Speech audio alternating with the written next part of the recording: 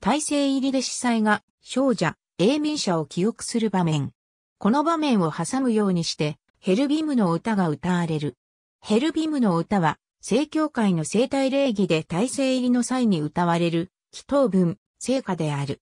主に、スラブ系の正教会で多くの作曲家が、この祈祷文に作曲を行い、一部は実際に生体礼儀で使われているが、作曲者不詳の伝統的な聖歌もギリシャ系、スラブ系、その他の正教会で広く用いられている。ヘルビムとは、ケルビムの現代ギリシャ語、教会スラブ語読みであり、天使の名である。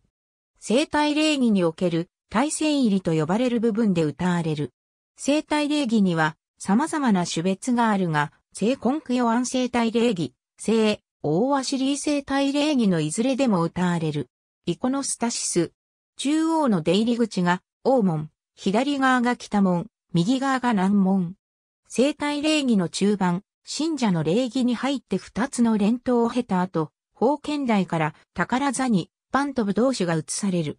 この時、新品が祭り品としてのパンとブドウ酒の入った器物を高く掲げ、イコノスタシスの北門を経て、イタリ聖書から出て、大門前に整列する。大門前で国家の指導者、聖教会の司教、全聖教徒をはじめとして、少者、死者の名を挙げて、記憶の祈りを適宜言った後、新品は、大門から祭り品を掲げつつ、イタリ聖所に入り、祭り品を宝座上に安置する。これを大聖入りという。大聖入りは、イース・ハリストスの受難年をかたどる、祭り品の移動である。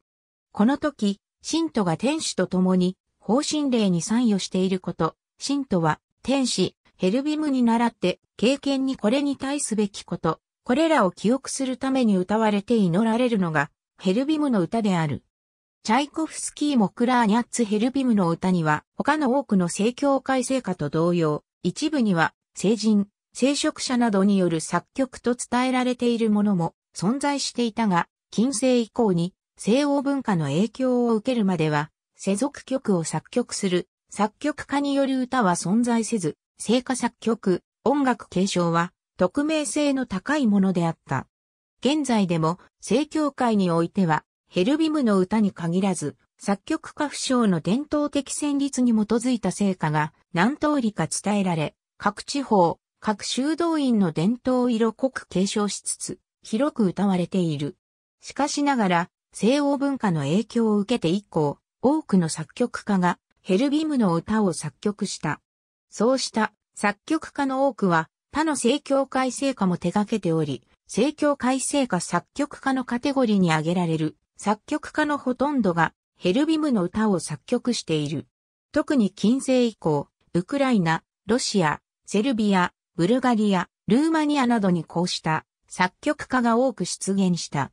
こうした作曲家の中には、ボルトニャンスキー、チャイコフスキー、ニコライ・リムスキー・コルサコフ、モクラーニャッツ、フリストフ、ラフマニノフのように、世俗音楽の領域で活躍した者もいれば、アルハンゲルスキー、ジスのコフのように、その音楽活動のほとんどが、正教会聖歌に占められているようなものもいる。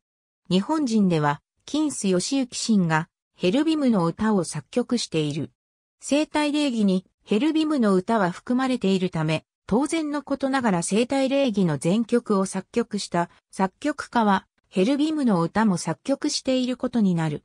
この段落の主要出典、ミハイル・ソコロフ著、木村伊札は活躍、聖方針令118ページ日本、ハリストス正教海峡団による法事へによったが、一部の漢字表記は東洋漢字に改めて記載した。また、法事へ原文では、天使、ヘルビムはヘルワイムと記載されているが、より日本正教会においても一般的なカタカナ表記、ヘルビムを用いた。ありがとうございます。